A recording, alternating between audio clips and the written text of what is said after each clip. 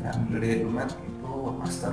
Sebelum kursus di Dumet saya masih bingung merancang website menggunakan PHP tapi setelah kursus di Dumet saya lebih paham dalam merancang website.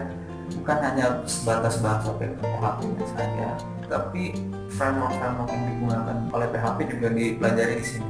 Kesan saya belajar di Dumet itu tempatnya nyaman. Strukturnya mau jelasin sampai saya paham benar-benar paham kalau ada materi yang sulit bagi saya terus aku belajar fleksibel. Itu sangat cocok bagi saya yang bekerja. Dan itu benar-benar mantap